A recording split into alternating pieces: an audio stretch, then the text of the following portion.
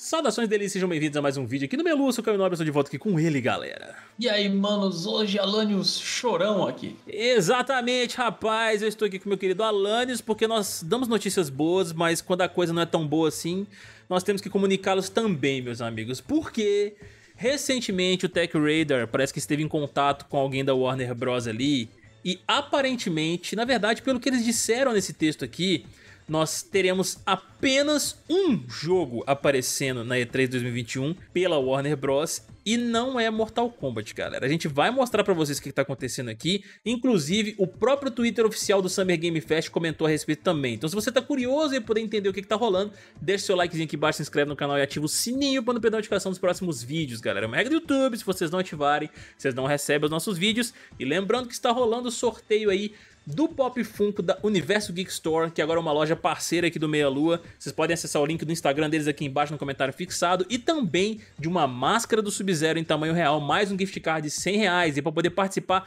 destes dois sorteios, basta acessar o link aqui embaixo no comentário fixado da nossa Twitch e se tornar um sub lá de graça se você tiver o Prime Video vinculado à sua conta desta plataforma, meus amigos. Então não percam, acompanhem lá nossas lives e vocês também têm acesso ao nosso grupo de WhatsApp exclusivo para subs também poder trocar uma ideia com a gente, com a galera lá. Então vamos lá, meu querido Alânio, deixa eu trocar nossa tela pra galera começar a entender aqui o que que tá rolando. Ó, recentemente, meus amigos, recentemente mesmo, assim, ó, há seis horas atrás da gravação desse vídeo que a gente tá fazendo, foi postada essa notícia falando, ó, não esperem Hogwarts Legacy e nem Gotham Knights na E3 2021. E aqui embaixo na notícia, eles discorrem um pouquinho mais a respeito disso, ó. Vou ler na íntegra pra vocês entenderem porque tá em inglês. Aqueles que esperam ver Hogwarts Legacy, Gotham Knights o Suicide Squad Kill the Justice League na E3 2021 vão ficar profundamente desapontados, já que a Warner Bros. confirmou que nenhum desses títulos será apresentado na conferência da editora. Um porta-voz da Warner Bros. esclareceu ao Tech Radar, que é esse site que a gente tá lendo aqui agora para vocês, né, que apenas Back 4 Blood será mostrado durante a conferência da Warner Bros. na E3 2021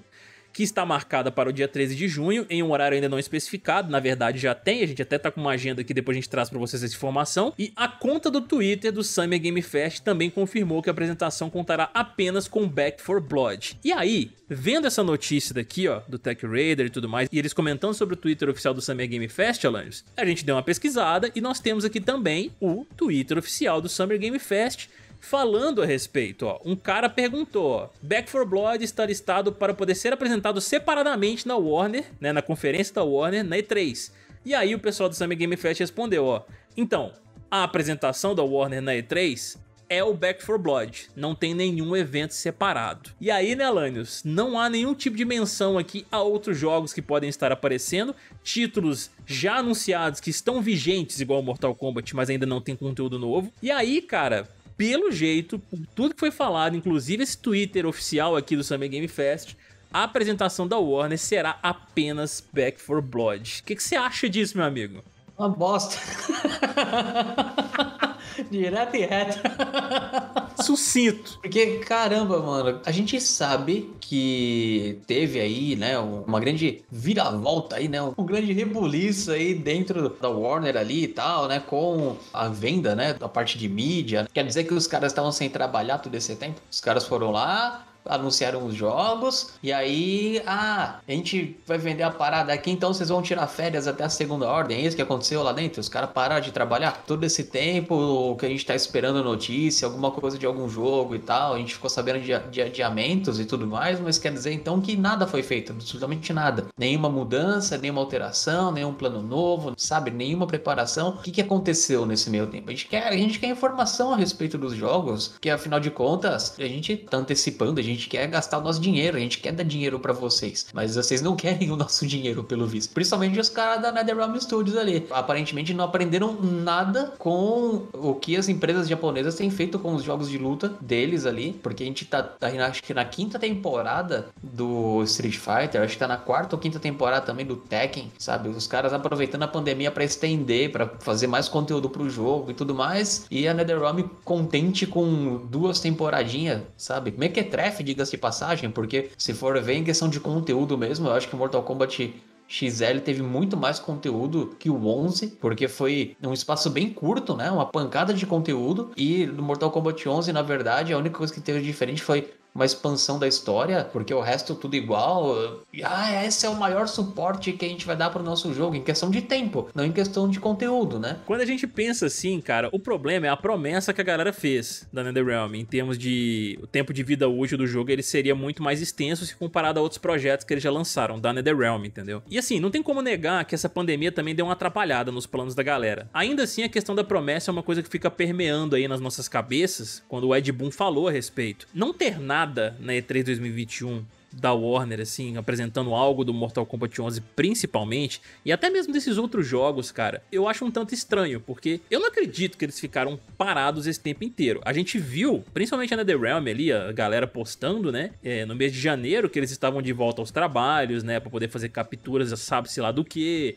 os dubladores aí, lá no início também do ano fevereiro, postando que estavam de volta aos trabalhos. Recentemente nós tivemos também do Liu Kang aí, do próprio Johnny Cage, ele postou uma fotinha da Warner. Então assim, cara, tem coisa acontecendo, sabe? A gente sabe que tem, mas assim, aí chegar nesse evento que é E3 2021, eles não mostrarem nada pra gente, eu comecei a pensar, poxa vida, quando é que a gente vai ver de fato algum conteúdo novo acontecendo aí? Sei lá, seja pro Mortal Kombat 11 mesmo, ou algum jogo novo da NetherRealm, entendeu? Eles não vão segurar esse negócio até o TGA, não é possível. Tem seis meses até lá ainda, porque é no mês de dezembro, bem no início. Mas aí eu começo a pensar também. Aqui eles especificaram a E3 2021, o evento da Warner acontecendo e tudo. A gente ainda tem a Summer Game Fest que vai ter o seu kickoff, né, seu início, na próxima quinta-feira aí, dia 10 de junho, e o Geoff Keighley, ele diz que teremos apresentação ali de mais de 30 títulos, mano. Parece que vai ser duas horas de evento, e teremos desde títulos novos até atualizações de títulos já vigentes, já anunciados e que foram lançados. Pode ser que a gente veja alguma coisa, talvez, do Mortal Kombat na Summer Game Fest,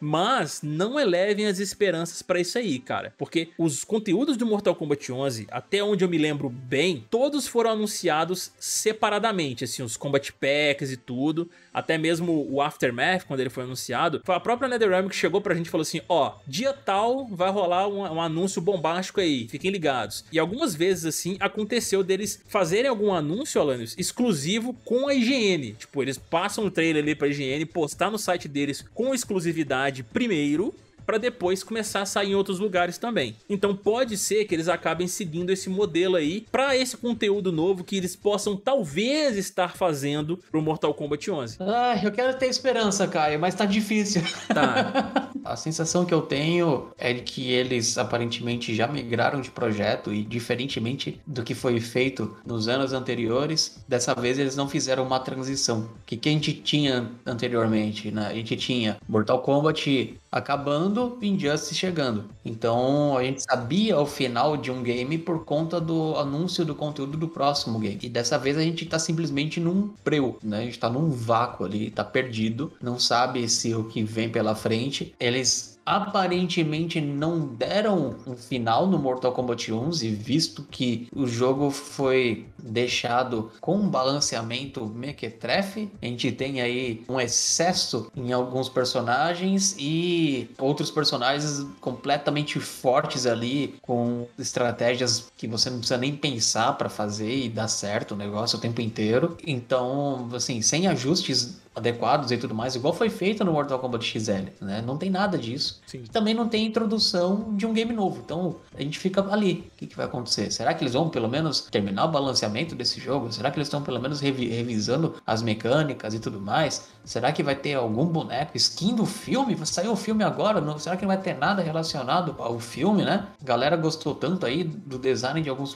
personagens ali. Pois é, cara. Eu acho que os próximos dias aí a gente vai saber de alguma coisa um pouco mais concreta por parte da comunicação dos caras, assim eu espero. A gente sabe que tá sendo feito alguma coisa, por conta de tudo que a gente tem visto, possíveis pistas da Ed Boon que também podem não ser nada, a questão dos dubladores, a questão deles estarem trabalhando em algo de captura de movimentos lá desde o início de janeiro também, que eles postaram no Twitter. Então só nos resta esperar. Pode ser que a gente ainda veja assim Mortal Kombat aparecendo numa Summer Game Fest, porque no perfil oficial deles ali, eles mencionam E3. Então, e eu não acho que eles vão mostrar o mesmo jogo em dois eventos diferentes. Não precisa de tanto, né, mano? Overdose de um mesmo jogo nos dois eventos é foda, né, também. E aí vamos ver, cara, o que que acontece. Que pode ser que eles sigam esse modelo aí de apresentar uma parada individual mesmo, fora de evento. Eu acho uma besteira, porque eles poderiam aproveitar muito bem esses dois eventos aí, qualquer um deles, para poder apresentar o conteúdo, onde vai ter uma galera em massa ali assistindo. Mas é aquilo, só nos resta esperar mesmo aí. E agora a gente quer saber de você, querido espectador que tá assistindo agora. O que, que vocês acham de tudo isso que a gente comentou aqui? Deixa aqui embaixo suas opiniões, a gente vai adorar ver de cada um de vocês. E não se esqueçam novamente de deixar o seu likezinho aqui embaixo, se inscrever no canal e ativar o sininho